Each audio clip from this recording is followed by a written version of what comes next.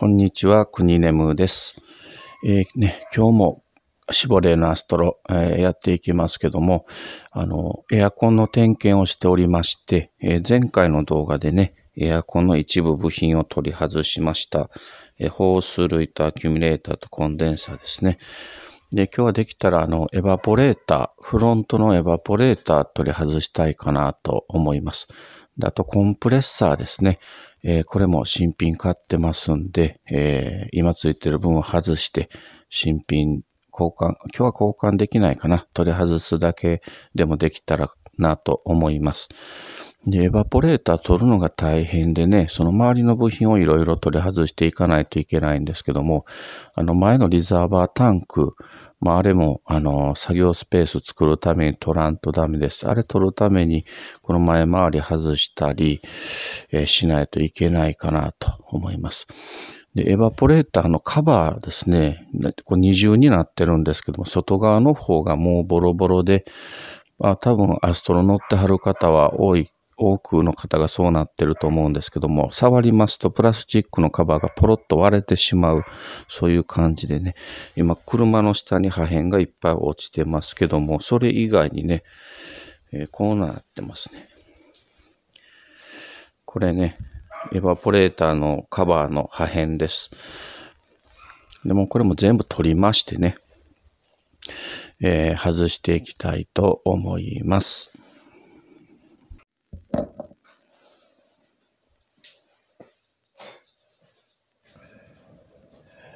はい、えー、それでは作業を進めていきますけども、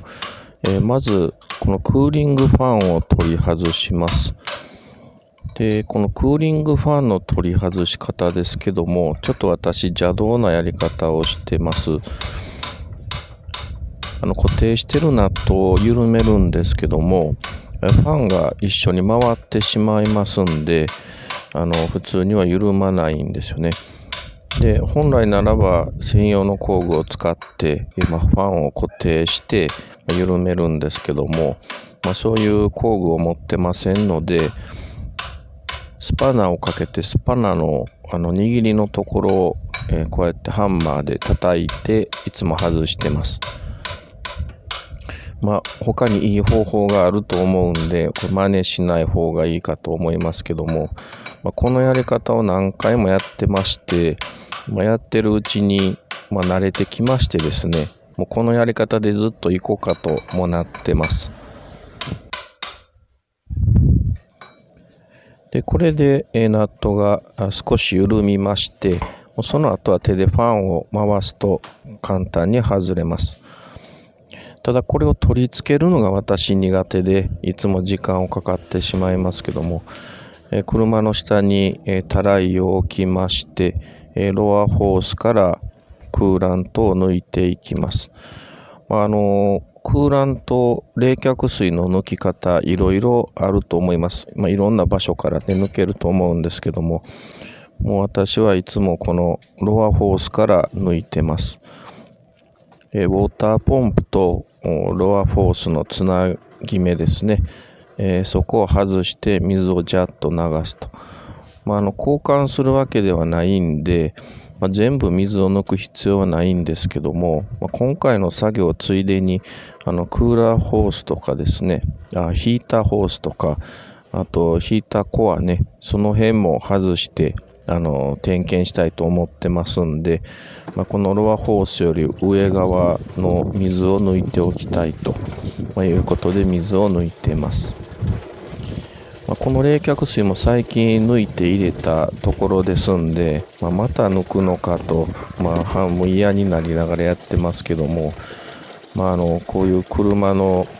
趣味でね車いじってますともうしょっちゅう水を抜かないといけないということでもう諦めて、まあ、素直に抜いてます。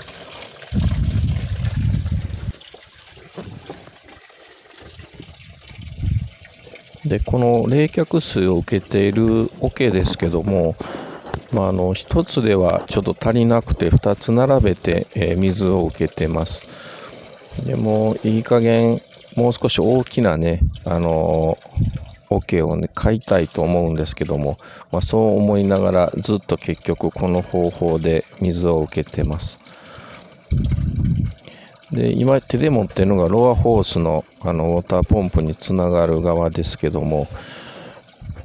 このロアホースをですねあの下側にぶら下げるように、えー、しておかないと後からちょろちょろ水が落ちますんで、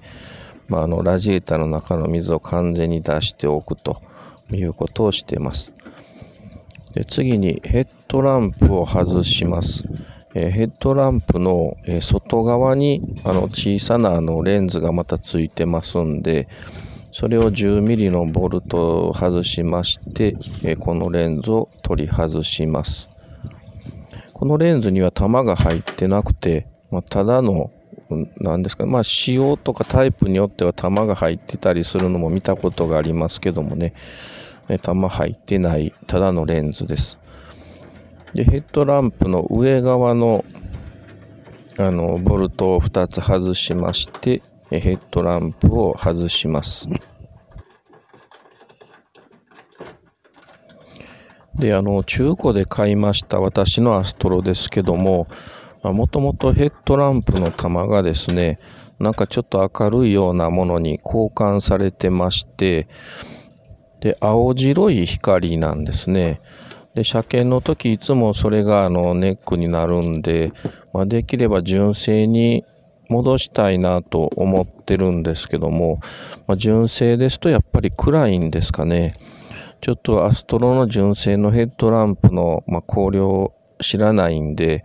まあ、どんなもんかあま、わからないですけども、まあ、できれば純正にしたいかなと思ってます。で、も最近ヘッドランプでもなんかいろいろね、HID とか LED とか、なんかいろいろなもんがあるみたいですけども、まあ、これについてるやつが何かちょっとわからないです。あの、LED ではなかったように思いますね。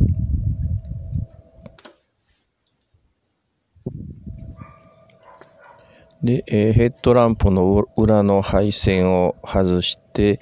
ヘッドランプを取り外していきます。で抜きましたその言うてる、え電球ですけれども長細いあの電球でした多分 HID というやつだと思うんですけどもあ今外した分ですね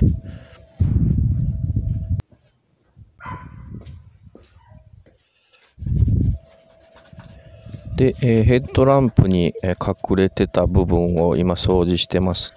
この時思ったんですけれども、私この車のヘッドランプをこのように外すのもしかしたらあの初めてかもしれないですね。まあ、いろんなゴミが積もり積もってまして、えー、拭いときました。で、今外そうとしてるのが、えリザーバータンクのあの折れたステーです。まあ、折れてるんですけど、ずっとこのボディについたままなってまして、もう全く必要ないんで取ってしまおうと、え取り外してます。このリザーバータンクのステーはよく折れるみたいで、で、あの、どうしたもんかなといろいろ思ったんですけども、まあ、あの、丸ごと交換するか、なんか自分で補修して、え、取り付けるかということですけども、えこれ、この車中古で買いまして、もう元々折れてまして、インシュロックで、え固定されてました。まあ、これで問題ないんで、このまま行こうと思います。まあ、丸ごと新品に変える変えるのが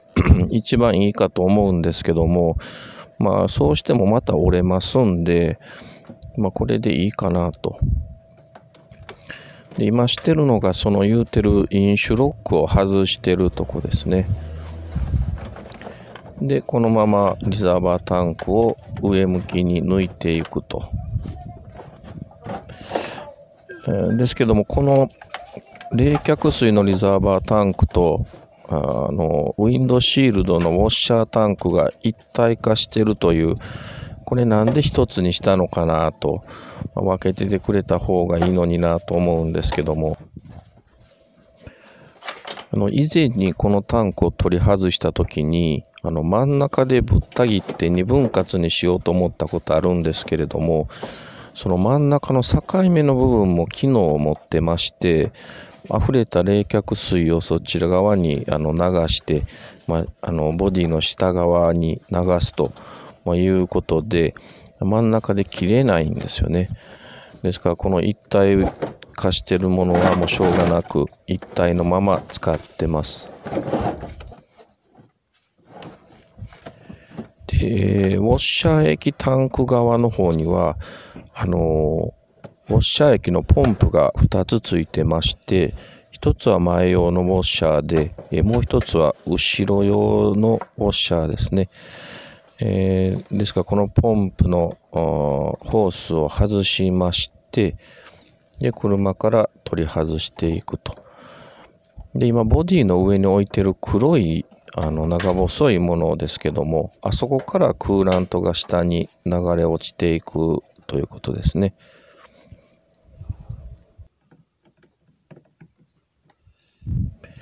で、今、何かゴソゴソとしてますけども、あの、ヒーターバルブについてるヒーターホースを外そうとしてます。で、そのホースは、ここですね。ここのファイアウォールから室内のヒーターコアにつながっていると。ですから上下で外してホースだけ、えー、取り外すということを今してます。で、このホースがですね、パイプに固着してまして、えなかなかあの外れにくかったですね。今1本外れました。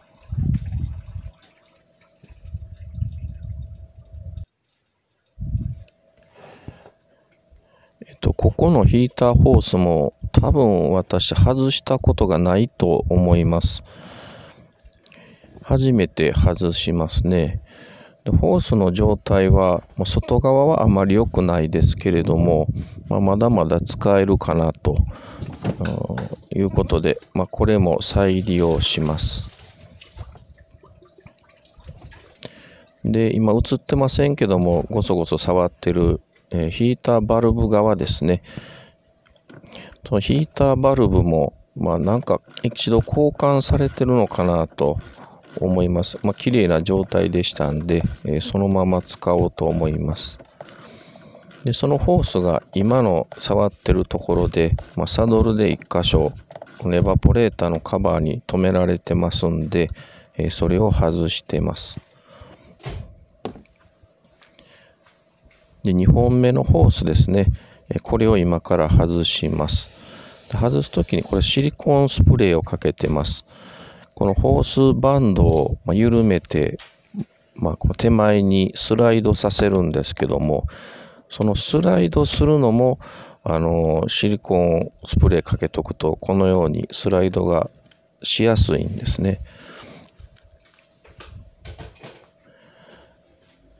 で、もこれも固着してるの分かってますんで、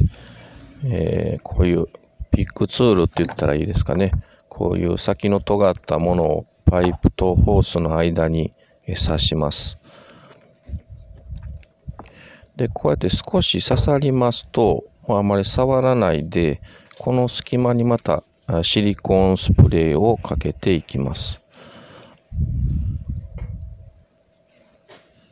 でも放置もしないでそのままこの刺したものをホースの周りできればぐるっと一周あの剥離させてやるような感じで動かしてやるとするとパイプとホースが剥がれますんでこれで抜きやすくなるということです。これは私のやり方なんで、まあ、あの慣れてる方やプロの方はどうされてるかちょっと知らないですけどもまあ、いつもこうやってます。で、このまま引っ張っても抜けないんですね。剥離してても引っ張ってもダメなんで、このように回します。回して、もう完全にゆるゆるになってから引っ張ると。すると抜けます。あの、パイプ側錆びてますね。あの錆は落としてやらないとダメかなと。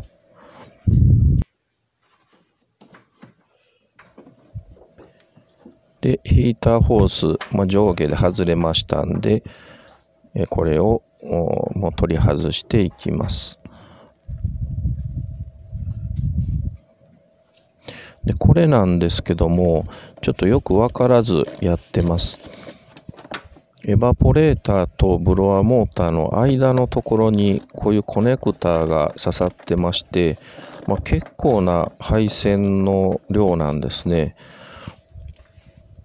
であの目で見てすぐ分かるような位置に2本のネジで止まってまして、まあ、それをその2本をこうやって外しましてこの配線の束をこのエバポレーターのケースから外そうとしてます。えただ、そういうことしなくても、まあ、このカプラー端子だけ外すことができるんで、これ無駄なことをしてしまったなというのが、全部このように外しますと、緑色の何か基板が出てきまして、なんだこれはと思いましてね。で、気づきまして、カプラー端子を外して、その土台の基板の部分ですね。これはまた元の位置に戻しておきました。まあ、丸ごと全部取り外した後にこれ何かまた調べようかなと思います。で画面切り替わりまして室内助手席の足元です。今蓋を外しましたけれども、えー、ヒーターコアが見えてきました。外れるかなと手で揺すってみるんですけども、まあそんな甘くはないですね。いろんなところでがっちりと固定されておりますんで、えー、一つ一つ外していくしかないかなと。まあ、あの、アストロに限らず、このダッシュボード下の作業っていうのは、まあ、こうやって頭を突っ込んで上を向くと体勢的に結構あの負担のある作業が続きます。で工具も入りにくかったり まあやりにくいことが続くんですけども今やってるのがですねそのこのヒーターコア体を止めてるボルトを外してるんですけれども向こう側からこちら側に向けて、え、固定してるボルトなんですね。でこういうボルトが結構ありまして、まあ、手前から奥へ止めてるボルトでしたら、まあ、正面から作業できるんですけれども、まあ、その逆向きなんですごくやりにくく、ま、ソケット工具は入りませんので、まあ、スパナで緩めてることです。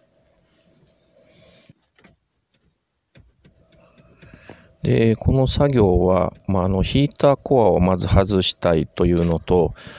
あと、エバポレーターとブロアモーターを外すのに、室内側から止めてるボルトが何箇所かあるんですね。でもこれがもうあの難しい理由の一つなんですけども、あの両側から互い違いにあのビスやボルトで止められていると。ですから表から裏から外していかないといけないところが多いということになります。エバポレーターとブロアモーターを完全に外すためにはこの助手席の足元についているものを全部取らないとえ結局外すことはできません。今一つ大きな部品がねごそっと出てきましたけどもえー、これがですねあのヒーターコアの前についてる風の流れを足元とかあの正面とか切り替えるための、まあ、そういう弁というかねそういう切り替えの部品ですね。空気がえ通るところです。でこれで少し作業スペースができまして、えー、やりやすくなるんですけどもここからヒーターコアを外していきます。で、今、外れましたね。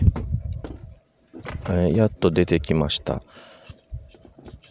で側面にまたその弁を動かすためのものがついてますんで、コネクターで配線を外して、え、ヒーターコアが取れたと。で、この時気づいてませんけども、ヒーターコアの中のクーラントをこの床に結構こぼしてしまいまして、もうこれ吹いた後だと思います。えー、画面正面奥に見えてるのがもう ファイアウォールですね。で黄色く映ってるのがエバポレーターです。えコアのフィンがシルバーになってる部分ですね。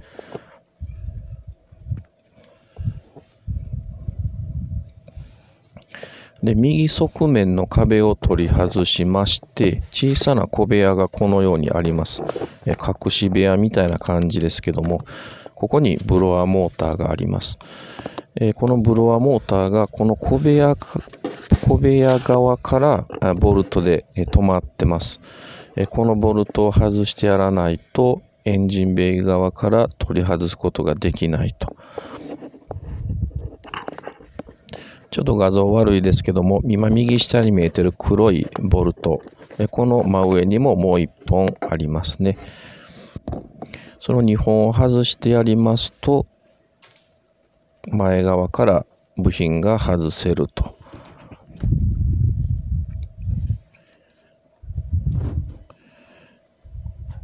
今少し動きましたけども、まあ、こう、ゆさゆさとゆさっあの、揺さぶってみてですね、まだどこか止まってるなというのがありまして、それがあの、エバポレーターのこのケースの一番底にですね、ステーが1本ありまして、で、そのステーの先はどこかと言いますと、あの、ヒーターバルブ、そこにつながってました。で、ヒーターバルブは、まあ、ホースがいっぱい刺さってますんで、そのホースが引っ張るような感じで、えー、エバポレーターのケースが丸ごとごそっと出てこないということです。えー、そのボルトを見つけまして、今外してます。これで外れたと思いますね。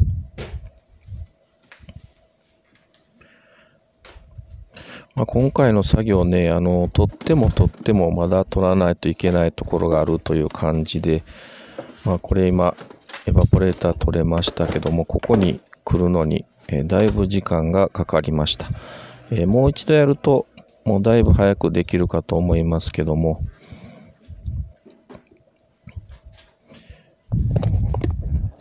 え、取り外したところですね、すごくすっきりしまして、もうこれを見たときにね、もうこのままでええかなと思いました。もうヒーターもエアコンもいらないから、こんだけすっきりとしたこのエンジンベイというのは、まあ、いい、いいもんだなと。で、いろんなものが転がってますけども、ほとんどがあの、エバポレーターのケースの破片です。ケースが二重になってましてね、その外側がポロポロと割れまして、それが溜まってます。この中また掃除をします。はい、エバポレーターとブロワーモーターですね。えー、これ終わりまして中のエバポレーターを取り出したいとしてるんですけどもまだ止まってるんですよね。あのー、取れるとこ取ったつもりだったんですけども何箇所かまだ止まってまして、えー、それを外していきます。まああの繰り返しになりますけれどもまあどこで止まっているのかというのがまあ、今回よくわからず手探りでやってまして、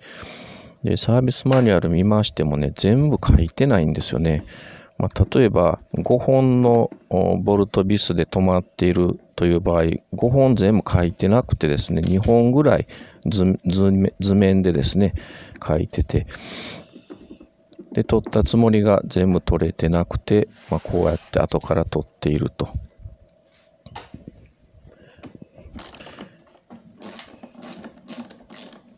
えー、3本取り忘れてたのかな。えー、3箇所ビスを取りまして、えー、このエバポレーターが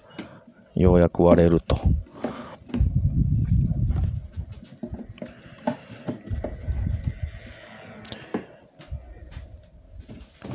はい、今、えー、割れました。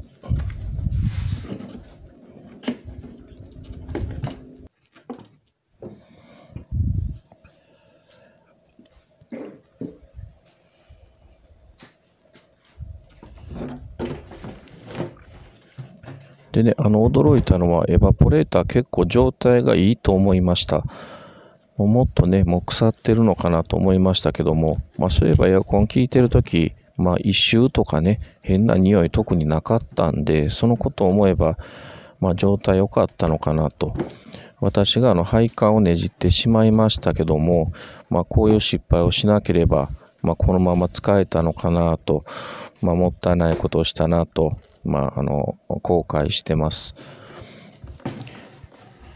で、あのガスケットというか、まあ、の、スポンジ状のもので、あのケース側に貼り付いてますんで、まあ、それを引っ張り剥がしていくという外し方になりますね。でまた1箇所止まってるのを見つけましてこの配管とケースがここで止まってるんですね。で出てきました。まあゴミが溜まってますけどもまだこれマシな方かなと思います。まあ20年も経ってる車で、まあ、エバポレーターの中っていうのはもっとひどいことになってて普通だと思いますんで、まあ、これぐらいで済んでよかったかなという感じですね。で、ゴミのほとんどはこの落ち葉というか、この枯れ葉で、で、あの、腐った後も特になくて、まあまあ状態がいい方かなと思います。で、汚れを、まあ、さっと落としてますけども、このエバポレーターはもう破棄しまして、新しいものに交換する予定です。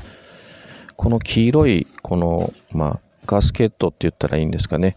この隙間を埋めるようなスポンジテープ、まあ、これは、まあ、もう使えませんので、まあ、変わるものを何か、あの、つけたいかなと思います。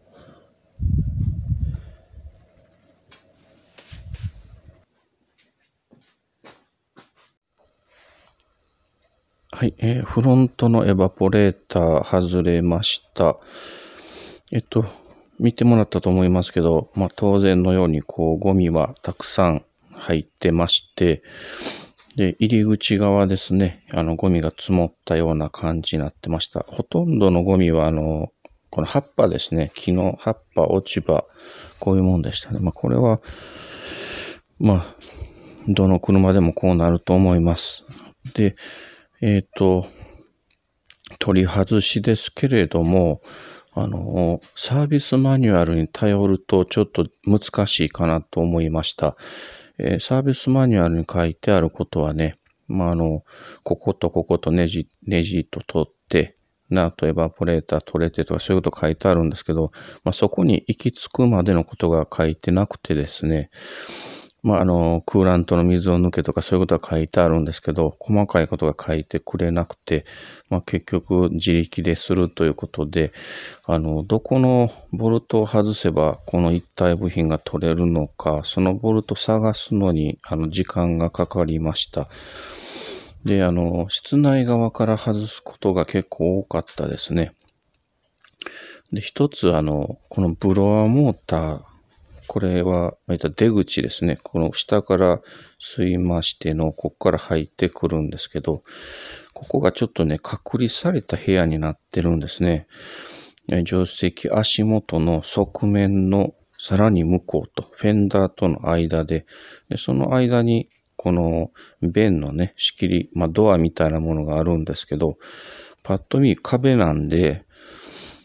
このブロアモーターを止めてるまあ、ここですね、こういうボルトとかナットとかを、えどうやって外すのかなと。そしたらここの壁をね、パッと取りますと、ここにこうアクセスできて取れたと。まあ、あの、分かってしまえば、まあ、簡単なことなんですけども、まあ、そこに行き着くまでにね、まあ、初めてのことでしたら、なかなか時間がかかりましたね。で、あの、このエバポレーターですけど、えっと、私があの、どんくさいことでここをねじってしまったんで、あの、これ、交換します。で、どうせ交換するんだから、もう状態が悪い方が、あの、いいかなと思ったんですけど、結構ね、状態いいんですよね。で、あの、まあ、ゴミは積もってますけどもね、積もってましたけども、で、あの、漏れもね、さっき見ましたらね、そんな漏れた後もなくて、まだ使えるかなというような感じです。私がね、こんなしょうもない失敗さえしなければ、まあ、せやけど、まあ、どうせ取り外すんやったら、もう12万キロで20年経ってるから交換しておいた方がいいかもしれないですね。まあ、ちょっと、交換するしないどっちの方がいい悪いかわからないですけども。でも、ブロアモーターは、もうこれこのまま、このまま使います。交換した方がええかな。うん、わからない。で、あの、問題の、この、エバポレーターとブロワーモーターのケースのさらにケース。ケースの外側についてる二重、二重になってるケースのこの外側、これですね。これ。で、もうほとんど割ってしまいましたけども、これ本当なずっとこう全部覆ってるんですね。シェルのように。でも、もう触るとポロポロ取れていく感じで、ここっち側からね、脆いですね。だんだんだんだんしっかりしまして、この辺に来ますと、まあまあまあ、まだあの樹脂の弾力がまだありますね。だから残ってるんですけど、あ、ここはあかんか。ということで、このえー、ケースのケースですね。これはどうしようかなと思ってます。これ何のためにあんのかなと思ってね。まあ、断熱とか保温とか、まあ、そういう意味でついてるんであれば、もう上からなんかね、保温材で覆ってしまおうかなとも思いますけども、まあ、これまたどうするか考えます。こういう純正部品は私にはもう絶対買えませんので、なんか自力でせなあかんかなとで、あと、外したホースね。これ、あの、ヒーターホース。これ。まだ使えますんで、これもこのまま使います。でも、いつでも簡単に交換できるもんですんで、あの、今回の作業の時にやっておかないといけないということではないんで、これは使いますと。ああそして、えこれですね、ヒーターコア。これはもう室内にあってね、あの、綺麗なもんです。で、漏れた後もあれありませんので、まあ、ちょっと、もうちょっと分解せんとわかりませんけど、で、まあ、中は洗います。もう、ジャブジャブ逆流させてね、あの、出口側から、あの、水洗剤で、ジャブジャブ洗って、使います。で、インレットとアウトレットのこの接続の部分はね、ここ若干錆びがありますんで、まあそういう錆びを落としてね、まあ綺麗にしてまたつけていきたいと思います。ということでね、今日は、あ、もう一個忘れてた。この、このアホアホみたいなこのリザーバータンクですけど、これも折れてますけどね、あのステーは、こことここ。まだ使えますんで、これもタイラップで縛って使うと。うん、まあ、一回洗ってますんでね、そんな汚れてもないし、まあ、あの、洗うだけ洗って、またつけます。ね、えっと、そしたら、あの、コンプレッサーはね、まだ今日は取り外ししませんでしたけども、また、あの、後日やっていきたいと思います。えそれでは、えー、今日はここまでとします。思ったより大変でした。ちょっと懸念するのはね、これ取るのはもうがむしゃらに取ることできますけど、これつけるの大変やなと思ってね、まあ取り付けの時は覚悟して取り付けたいと思います。えー、それでは最後まで見ていただいた方ありがとうございます。えー、この続きもやっていきますので、ご興味のある方ぜひともお付き合いをください。えー、それでは。